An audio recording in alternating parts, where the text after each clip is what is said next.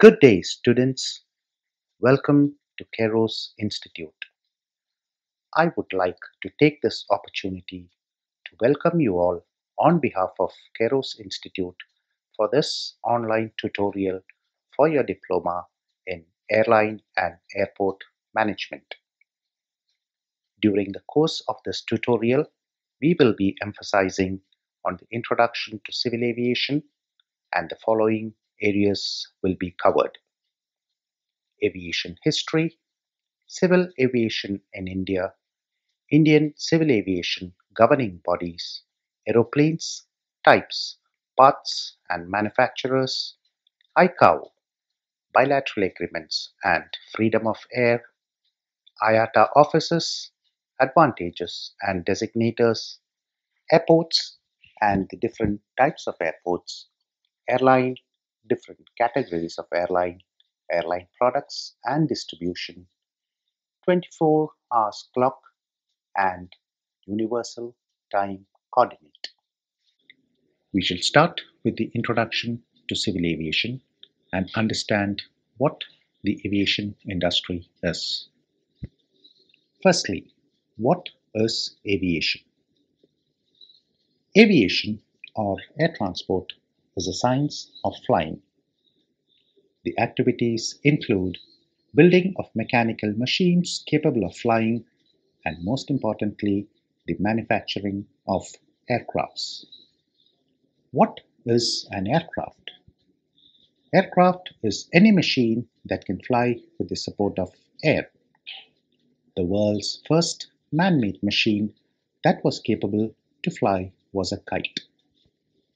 There are various examples for machines that are capable to fly. As I said earlier, we have the kite, we have parachutes, we have hang gliders, we have helicopters, hot air balloons, and finally our aeroplanes. We shall now move forward and take a look at the history of aviation. The first manned flight in the history took place on 21st November 1783. The two Montgolfier brothers designed and built a hot air balloon which traveled for five miles across the city of Paris in France. In 1804, Sir George Cayley, an Englishman who is regarded as the father of aviation, designed the first model aircraft, a glider that took to the skies in 1852. On December 17, 1903, the Wright brothers invented the first powered aircraft, which lasted for 13 seconds and covered a distance of 60 meters. Let's now enlighten ourselves on civil aviation in India. Modern civil aviation in India traces back to 18 Feb 1911 when the first commercial civil aviation flight took off from Allahabad for Naini covering a distance of 9.7 kilometers piloted by a French aviator Henri Pecquet carrying 6,500 pieces of mail on a Humber biplane. This, in fact, is considered as the world's first official airmail service. Nothing serious happened with the Indian civil aviation industry for a period of over 20 years. On 15th October 1932, J.R.D. Tata flew a consignment of mail from Karachi in Pakistan to Juhu Airport in Bombay. In the year March 1953, the Indian Parliament passed the Air Corporation Act. India's airline industry was nationalized, and the eight domestic airlines operating independently at that time were merged into two government owned entities. Indian Airlines focused on domestic routes and Air India on international services. India is home to a total of 486 airports, which includes airstrips, flying schools, and military bases. Out of 486, 123 airports are with scheduled commercial flights. 34 of these airports have international status.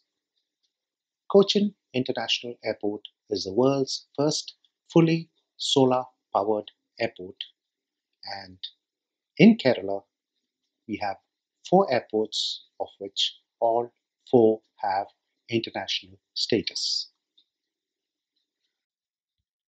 Indian Civil Aviation Governing Body Under the Indian Ministry of Civil Aviation, there is a statutory body known as the Directorate General of Civil Aviation, DGCA. Under DGCA, we have the Bureau of Civil Aviation Security, who looks after all the security procedures of all the airports in India. Then we have the Central Industrial Security Force, who provide security services to all the airports in India. And finally, we have the Airport Authority of India. Most of the airports in India are operated by Airport Authority of India. What is an aeroplane? As we have learned earlier, aircraft is any machine that can fly with the support of air, and an aeroplane is also a machine that can fly with the support of air. The only difference being that an aeroplane has fixed wings. Aeroplanes can be classified into two main categories military aircrafts and commercial aircrafts. When we talk about military aircrafts, they are again classified into two as combat and non combat. When it comes to commercial aircrafts, we have narrow bodied aircrafts and wide bodied aircrafts. Let us now understand the difference between the two types of commercial aeroplanes. Narrow body aeroplanes have single aisle, whereas a wide body aircraft has double aisle. Aisle, though it's written as A I S L E, the S remains silent and it is pronounced as aisle. Take a look at the picture given below, which shows the interior of the aeroplane's passenger cabin.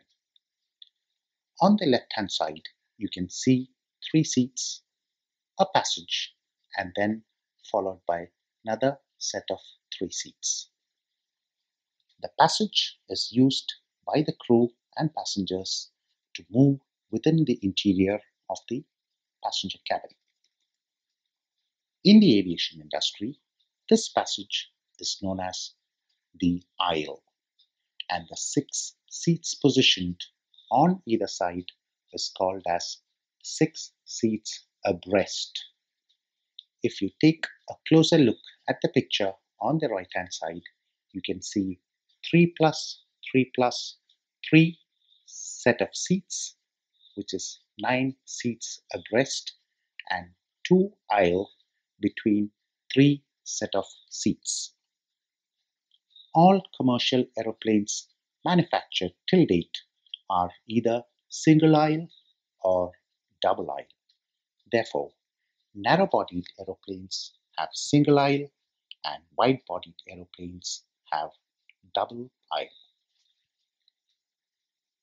Narrow bodied aircraft, we have 4 to 6 passengers abreast, whereas on a wide bodied aircraft, we can have 7 to 10 passengers abreast.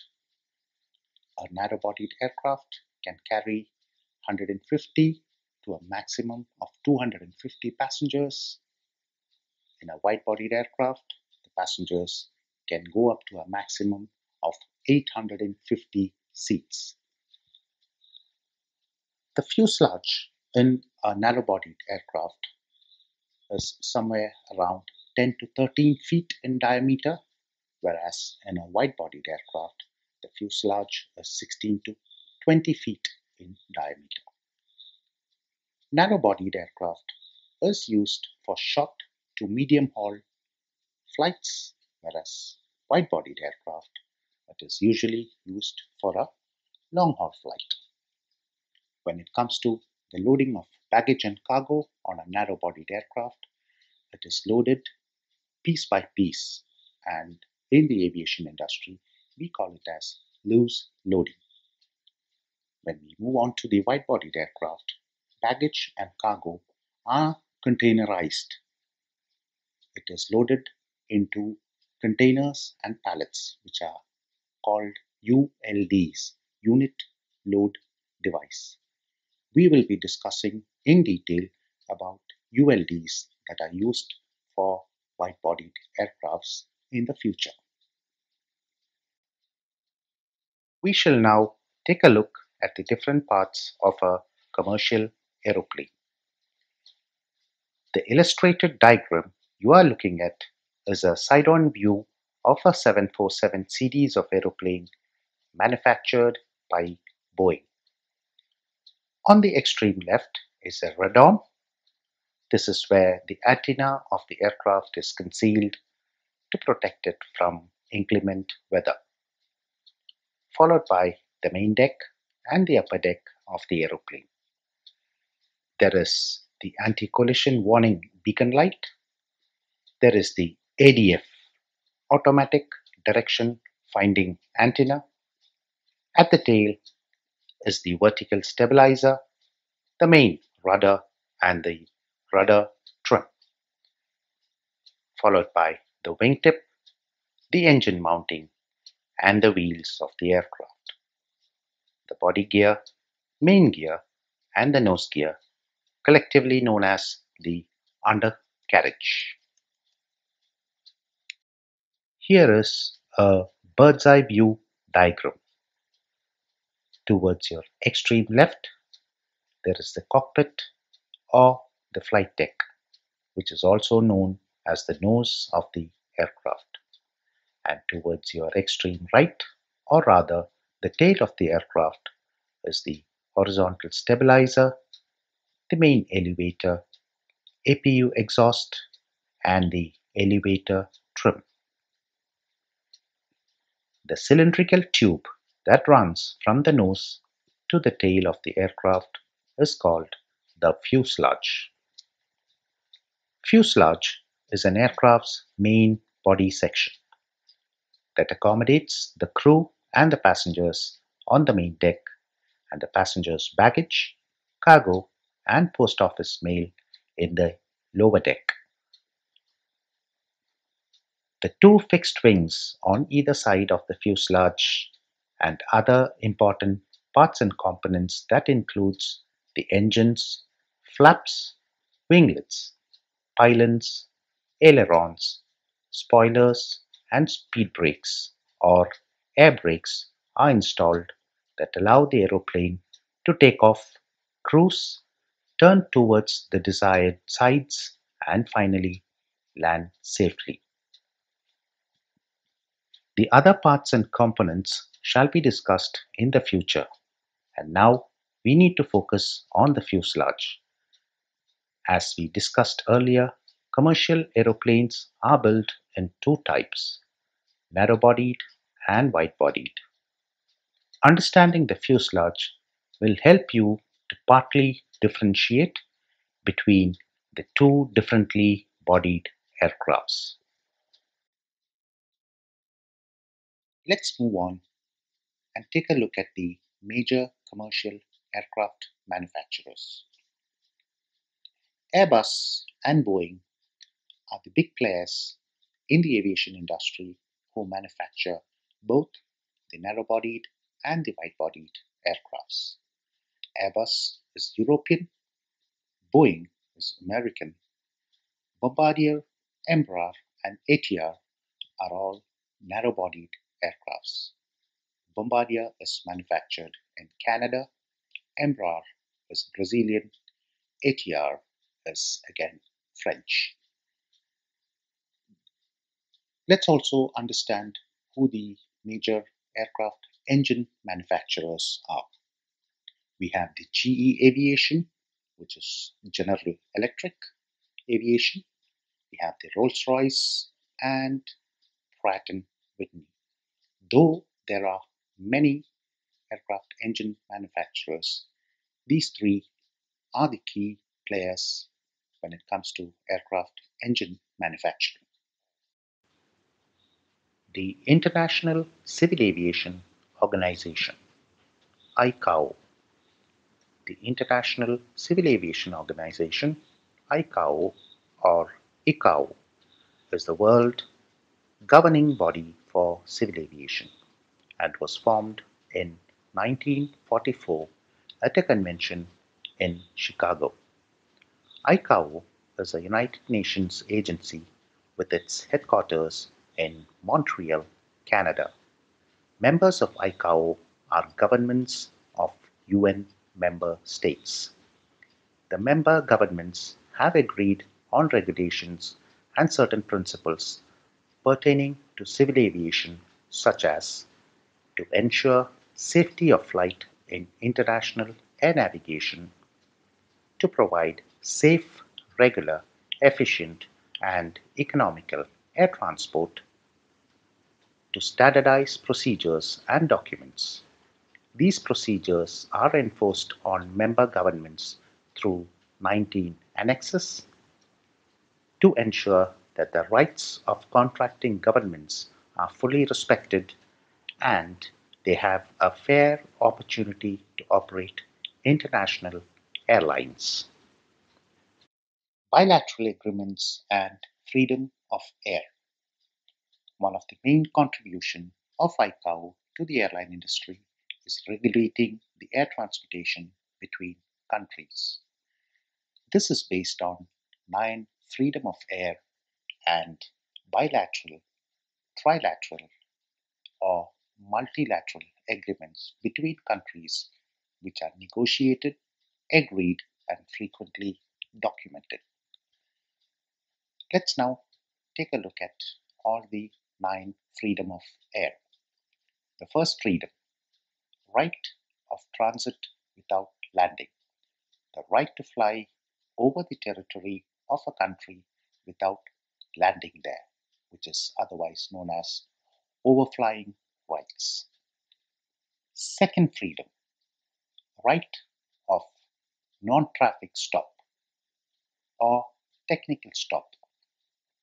The right to make stops in the territory of another country for non-traffic purpose, example, fueling, maintenance, etc. Traffic right means a permission granted to an airline registered in another country to pick up passengers, their baggage, and cargo and transport it to another country. The second freedom doesn't give that permission for airline to stop in a country and take passengers. They can only have a stopover for refueling or maintenance purpose. Third freedom, right to transport from nation A to nation B. The right to fly from one's own country to another country with traffic. The fourth freedom, right to transport from nation B to nation A. The right to uplift traffic from a foreign country to your home country. Fifth freedom, right to carry traffic between foreign territories. The right to carry traffic both ways from two foreign countries. Sixth freedom, right to fly between two foreign countries with stopover in home country. The right to fly between two foreign countries with a stopover in home country to uplift traffic. Sixth, freedom, which is modified. Right to fly to two places in a foreign country and proceeding to home country. The right to uplift traffic from two places in a foreign country before proceeding to home country. The seventh freedom, right to fly between two foreign countries by an airline from another country. The right to fly between two foreign countries with traffic, but the flight does not proceed to the home country. The eighth freedom, right to fly between two places in a foreign country with no traffic right from second place to home country. The right to uplift traffic from the first place to the second place of a country and proceed to home country with no traffic rights to uplift from the second place. The ninth freedom, the right to fly inside a foreign country. The right to fly inside a foreign country and the flight not proceeding to the home country. Freedom of air only applies to commercial aviation. The term freedom and rights is considered as a shorter way of referring to the type of international services permitted by an airline between two or more countries. Though such services are provided by countries, airlines may still have to face restrictions in assessing them due to treaties or for other internal reasons. Given here are illustrated examples of freedom of air which will help you to understand it better. International Air Transport Association IATA The International Air Transport Association IATA was established on 19th April 1945. IATA is an organization of international and domestic airline companies who have agreed on the setup of standards and recommended practices, also known as SARPs, to ensure safe, secure, and economical air travel, coordinated fares and rates, operation, traffic, technical, financial, medical, legal, and handling procedures, cooperation with ICAO and other international organizations. There are two type of members in IATA. We have the active members and the associate members. The active members consist of international airline and the associate members consist of domestic airline. IATA offices, the main office or the headquarters and the secretariat is situated in Montreal, Canada. The administrative and the clearinghouse is in Geneva, Switzerland. What are the advantages of IATA? Advantages of IATA to the traveling public. One ticket, one payment. Passengers can purchase a single ticket to travel on multiple airlines. Advantages of IATA to the airline. Settlement of accounts for interline revenue transactions between airline through IATA clearinghouse in Geneva. Advantages of IATA to the government. Economic boost to travel and tourism. IATA Airport and Airline Designators. IATA Airport Designator, also known as IATA Airport Code or IATA Location Identifier, is a three-letter code used for identification purpose for all airports and metropolitan cities around the world. Example Mumbai B O M, New Delhi D E L, Cochin C O K, Dubai D X B, Chennai M A A. IATA airline designators, also known as IATA reservation codes, are two character codes assigned to the world's airline. All the airline codes are described in IATA's airline coding directory. Example, for Air India, it's AI, for Emirates, it's EK, Indigo 6E, SpiceJet SG, Indian Airlines IC, Air India Express IX. Airport. Definition of an airport An airport is a restricted area for the movement of aeroplanes, passengers, their baggage, cargo, and post office mail. Or an airport is an intermediate point where people traveling by air change from the surface mode to air mode and vice versa. An airport is also sometimes called an aerodrome, an airdrome, airfield, or airstrip. Airports are divided into two landside and airside. Landside is open to the public and includes car parking, sea off area, and the receiving area. Airside is restricted area where the aircrafts land, park, and take off. Airside and landside is separated by the terminal building, and the terminal building is also part of the airside where access is restricted to the general public. Types of airports. Airports are generally classified into four Gateway International Airport, Domestic Airport, Regional Airport, General Aviation, and Civilian Enclave.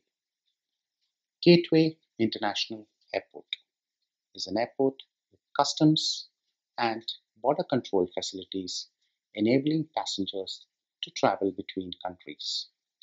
International airports are usually larger than domestic airports and often feature longer runways and facilities to accommodate the heavier aircraft commonly used for international and intercontinental travel. International airports often also host domestic flights. Domestic airport is an airport that handles only domestic flights within the same country. Domestic airports do not have customs and immigration facilities and so cannot handle flights to or from a foreign airport. Regional airport. A regional airport is an airport serving traffic within a relatively small or lightly populated geographical area. A regional airport also does not have customs and immigration facilities to process traffic between countries. General aviation or civilian enclave. A civilian enclave is an area at a military airbase allotted for the usage of civil aviation and flying clubs. Many reserve morning hours for military flight trainings. Airline. What is an airline? Airline is a company that provides air transportation to passengers, their baggage, cargo, and mail through air. Airline utilize aeroplanes to provide these services and sometimes form partnership with other airline companies known as codeshare agreements. There are three types of airline major airline, national airline, and regional airline. Major airline. They are the heavyweights of the industry and are often in the news. These airline companies generate a revenue of over 1 billion US dollars. As of 2019, the major airlines voted by travelers around the world are Qatar Airways, Singapore Airlines, All Nippon, Cathay Pacific, Emirates, EVA Air, Hainan Airlines, Qantas Airways, Lufthansa, and Thai Airways. National Airline. These are just one step below the major airline with an annual operating income under 1 billion US dollars. They serve regions of a country and some international destinations. They operate medium and large sized jets. Example SpiceJet and Indigo in India. Regional airline. These airlines serve particular regions of a country. The airline companies operate aircrafts that can accommodate 60 to 80 passengers. Example Alliance Air, TrueJet, Star Air, Zoomjet in India. Airline products and distribution. What are airline products? Airline products are the passenger seats, the space for baggage, cargo and mail, and two packages. How do airline distribute their products? There are two ways that airline distribute their products.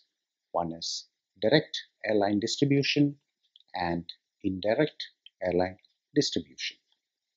Direct airline distribution, they sell through their city offices, which is closer to the airport, through internet, through the airline company's call center, and e-ticketing through their app.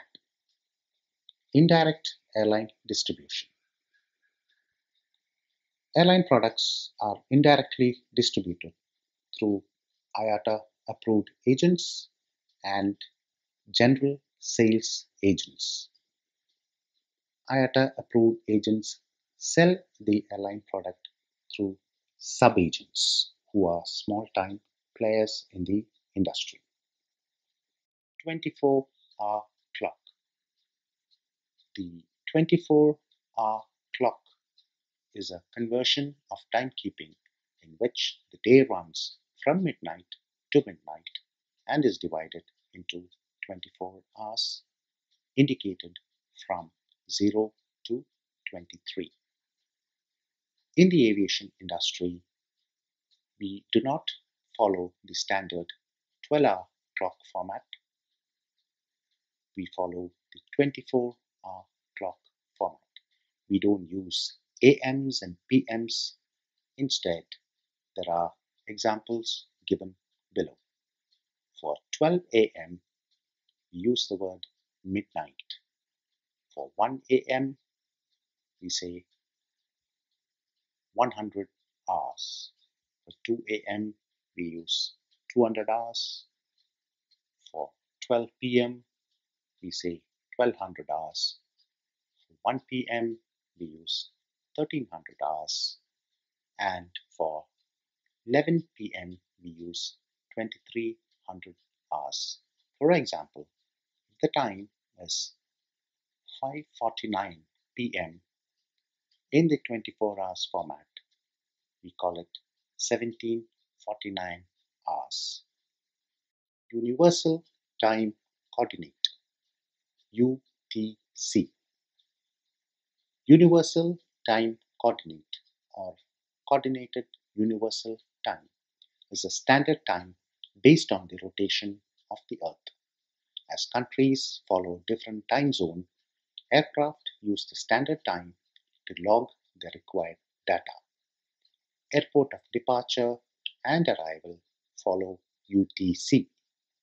Indian Standard Time or IST. The time difference between UTC and IST is plus 5 hours 30 minutes, which means that India is 5 hours and 30 minutes ahead of UTC.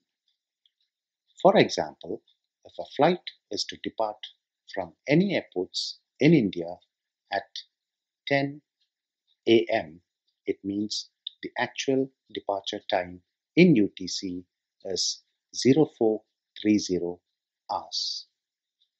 Please note, in India, the UTC date will change only when the Indian Standard Time is 0530 hours. Though the local date has changed, any flight arriving or departing before Indian Standard Time 0530 hours means the flight date is of the previous. Hope this online tutorial has illuminated your interest in the airline industry and please feel free to pen in your comments and queries to guarantee improved assistance. Thank you.